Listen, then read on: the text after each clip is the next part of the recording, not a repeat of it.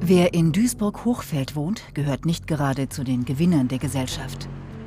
Dem einstigen Arbeiterstadtteil droht die schleichende Verwahrlosung. Leerstehende Wohnungen, Armut und Müll. Bezirksbeamte der Polizei auf ihrer täglichen Patrouille. Zumindest im Kampf gegen die Müllberge scheinen die Beamten unterlegen. Ja, seit, wann, seit wann liegt das denn hier? Seit heute Nacht. Seit heute Nacht.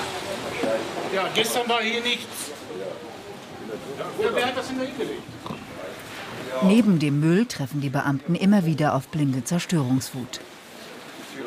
Hier fehlt einfach die Scheibe der Eingangstür und die muss ersetzt werden. Dafür ist natürlich der Hauseigentümer verantwortlich. Kommt oft vor, dass auch äh, besonders Haustüren offen stehen, wo jeder rein und rausgehen kann. Das passiert oft. Seit der EU-Osterweiterung gibt es eine Armutswanderung von Menschen aus Rumänien und Bulgarien ins Ruhrgebiet. Viele von ihnen sind nach Hochfeld gezogen. Das Verständnis der Deutschen hält sich in Grenzen. Frei, ne? leer. Es ist schlimm, schlimm geworden. So ein Dreck und Müll, wie hier immer liegt, kennen wir nicht, wir Deutschen. Ja, die sind ja die meisten Deutschen ausgezogen, vor allen Dingen die mit Kindern. Und jeden, fast jeden Tag kommen die von der Stadt, machen sauber. Ich verstehe nicht, die sehen doch, dass sauber gemacht wird. Warum werfen die jeden Tag ihren Müll wieder hier hin? Droht so ein Stadtteil auch zu kippen? Ganz klar. Das ist das Problem, was wir hier haben. Was passiert dann? Da kann ich nichts zu sagen, das weiß ich nicht. Muss man abwarten. Ich weiß es wirklich nicht. Was ist denn das Gefühl für Sie als Beamter dann hier gegen Windmühlen zu kämpfen? Was das für ein Gefühl ist. Irgendwann gibt man mal auf. Ne? Weil das ganze Engagement bringt einfach dem halt nichts im Endeffekt. Im bürgerlichen Stadtteil Rheinhausen zeigt sich das Ausmaß der unkontrollierten Zuwanderung. Das Hochhaus in den Peschen ist in Duisburg zum Synonym für eine schleichende Verelendung geworden. Seit vor Monaten mehr als 150 Sinti und Roma aus Bulgarien und Rumänien in die 24 Wohnungen eingezogen sind, kommt es hier immer wieder zu Konflikten mit Anwohnern und den Ordnungsbehörden. Versuch einer Nachfrage. Verschwinden Sie hier. Sie bekommen Ärger. Ich sage es Ihnen ehrlich, hauen Sie ab und fertig. Sie können gern zur Polizei gehen. Hauen Sie ab, wir sprechen nicht mit Ihnen. Wir möchten wissen, warum Sie aus Rumänien nach Deutschland gekommen sind. Haben Sie Arbeit? Wir haben Arbeit. Es gibt genug Arbeit hier. Können Sie damit Ihre Familie ernähren? Ja, sicher. Besser als in Rumänien. Alles scheint für die Zuwanderer besser zu sein als das Leben in der Heimat. Doch der Armutstreck aus dem Osten stößt bei den Nachbarn des Hochhauses auf wenig Gegenliebe. Rentnerin Karin Heimann hat nur noch geringes Vertrauen in die Politik. Was ich da erinnern muss, dass die Leute einfach, die, dann sollen sie die Leute woanders hinsetzen, aber nicht hier bei uns. Aber wie gesagt, es kommen ja so viele, die gehen ja jetzt schon nach Neuss und was weiß ich, wo überall hin, ne? kommt ja immer wieder Neues. Und wenn man sagt, die sind zu arm, die fahren alle dicke Autos. Ne? Haben alle ein Handy. Ja, was wollen sie noch mehr? Rosi, komm. Mit. Marlene Botke wohnt seit 20 Jahren in den Peschen. Ihre Freundin Rosi Rohnhild seit vier Jahren. In zwei Wochen ziehen beide Frauen aus. Ich bin ganz grob, ich sage Ihnen, das ist nur Piss und Scheißecke. Hier wird gepisst, da wird geschissen. Mit den neuen Bewohnern unter einem Dach zu leben, das können sich die beiden Frauen nicht mehr vorstellen. 150 Mal rückte die Polizei in diesem Jahr an, meistens wegen Rohstörung. Die haben die Musik volle Pulle, jeden Tag ist das Ordnungsamt da. Ne? Hier alles Blut. Wird ja nicht weggemacht, wir machen das auch nicht mehr weg. Alarmanlage, damit Sie nicht hier rein können. Ist denn schon mal eingebrochen worden? Bei ihr. Bei ihr sind sie schon reingegangen. Ja. Nachts. Also. Was ist das? Elektroschocker. Brauchen Sie den hier? Ja, wir haben Angst. Wir haben einfach Angst, hören Sie mal. Ich habe dir versprechen. Wurden Sie das schon mal eingesetzt? Einmal ja. Warum? Weil das Mädchen hier oben die ist ziemlich kiebig und frech. Und da habe ich mal gesprüht. Aber von Weitem halt, ne? Als Warnung.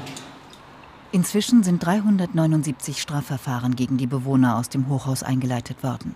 Die meisten davon wegen Diebstahls.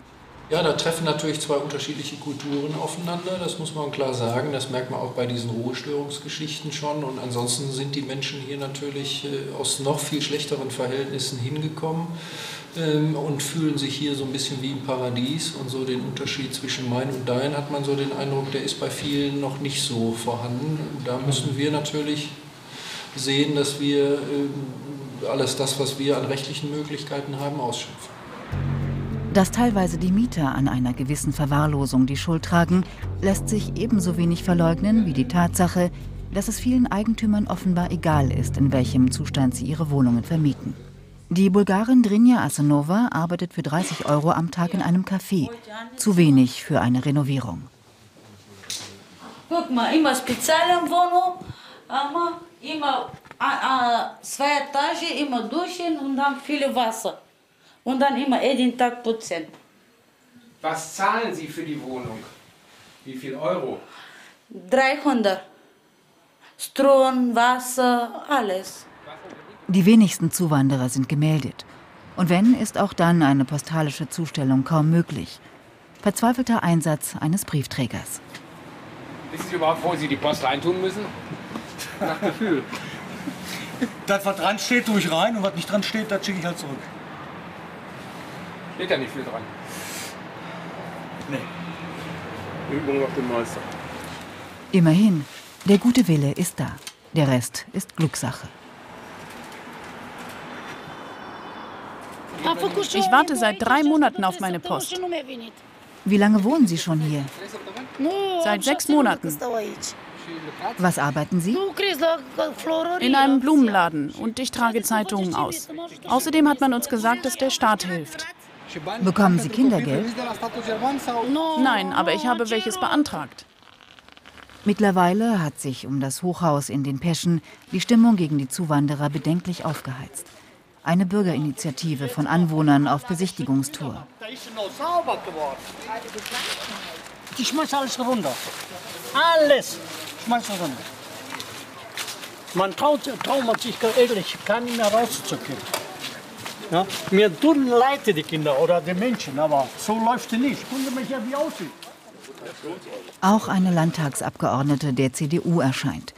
Nach einer kleinen Anfrage im Parlament lässt die Politikerin keinen Zweifel an ihren Absichten. Die Situation ist eigentlich so, dass man nur sagen kann, man muss direkt eingreifen. Und Mhm. ich habe gesagt, das kann nur Polizei und Stadt Duisburg mit einer ganz besonders konzertierten Aktion mit Ihnen zusammen äh, in Angriff nehmen. Ich würde ein großes Brett vor die Tür nageln, die alle rausholen. Zu Ende aus. Das geht so nicht mehr weiter. Ich wohne hier 18 Jahre, hier schräg gegenüber. Ich habe hier sehr schön gewohnt. Wir haben eine tolle Nachbarschaft hier. Wir haben uns frei gefühlt. Wir sind total eingezwängt jetzt. Ich habe aufgegeben. Ich will nicht mehr. Nach 18 Jahren werde ich, immer, ich werd meine Koffer packen. Dann verlagert sich der Protest von unten in die zweite Etage. Vom Balkon regnet es Wasser. Sauer! Immer die Polizei, verdammte Sauerei, du. Mit dem Wasser haben wir uns beschmissen. Verdammt nochmal und zugenäht. Wo leben wir denn eigentlich hier? Nach einer Viertelstunde kommt die Polizei, alarmiert von den Protestlern am Boden. Einsätze dieser Art gehören mittlerweile zur Tagesordnung, inklusive Rechtsberatung. Ich habe jetzt ja einen Elektroschocker, ne? Ah, Ja, ich ich will nur sagen, den habe ich jetzt. Wenn die mich jetzt beantragen, darf ich den benutzen? Nein. Darf Machen ich Sie nicht das nicht. benutzen? Rufen Sie die Polizei, gehen Sie weg. Ich weiß, dass die Nerven blank liegen. Ja, ja. Die, die liegen bei uns auch blank. Ne? Kann ich mir vorstellen. Also wir fühlen uns auch noch so ein bisschen hier allein gelassen, weil Ja. Sie sehen ja selber, dass wir äh, mit dem Kräfteeinsatz hier nicht mehr klarkommen. Ja, das, man was die Polizei hier leisten kann, hier, ne? das macht sie. Ne? Aber es wird mittlerweile so viel und ist so umfangreich, dass wir Schwierigkeiten kriegen. Ab 2014 dürfen Bulgaren und Rumänen in Deutschland legal arbeiten. Dazu gehört auch das Recht auf Sozialleistungen. Thank you.